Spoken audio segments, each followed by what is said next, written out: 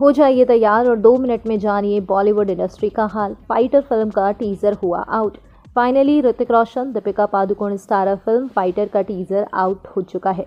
जहाँ पर हम देखते हैं कि किस तरीके से यहाँ पर देशभक्ति भी आपको देखने को मिलेगी भरपूर।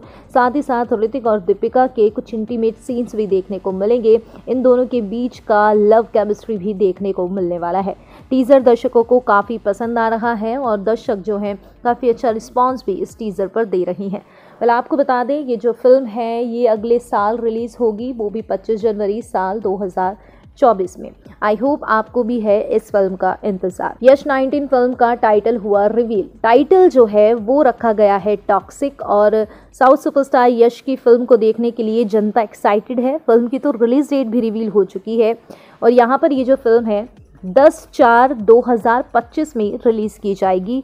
यश के साथ कौन सी अदाकारा दिखाई देंगी? इस पर अभी भी जो है क्वेश्चन मार्क है, लेकिन कहा जा रहा है, साई पल्लवी अगर उनके साथ इस फ़िल्म को साइन करती है, क्योंकि उन्हें अगर अप्रोच किया गया है तो देखते हैं आने वाले समय में क्या होता है। डंकी फ़िल्म का जल्द होगा आगाज़। डंकी फ़िल्म को लेकर कुछ लोग बिल्कुल भी श्योर नहीं हैं, लेकिन अगर राजकुमार हिरानी का काम आपको पसंद आता है, शाहरुख खान की फ़िल्में आपको पसंद है तो आप इस फ़िल्म को कोई कितना भी कुछ कह ले, लेकिन आप देखने ज़रूर जाएँगे। और ऐसे में डंकी फ़िल्म 21 दिसंबर को दस्तक भी दे रही है। सलार फ़िल्म का होगा आगाज़। फाइनली जो सलार फ़िल्म है, अब रिलीज़ होने की कगार पर है। यूएस में, यानी कि बाहर के देश में तो इसे बहुत अच्छा रिस्पांस मिल रहा है।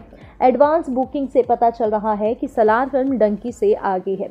अब ऐसे में हमारे इंडिया में क्या रिज़ल्ट निकलता है, ये देखने वाली बात होगी, क्योंकि सलार फ़िल्म का ट्रेलर दर्शकों को डंकी फ़िल्म के ट्रेलर से ज़्यादा पसंद आया। वेल देखते हैं क्या होता है आने वाले समय में। कमेंट सेक्शन में आप अपनी राय बताइए और कर दीजिए चैनल को सब्सक्राइब।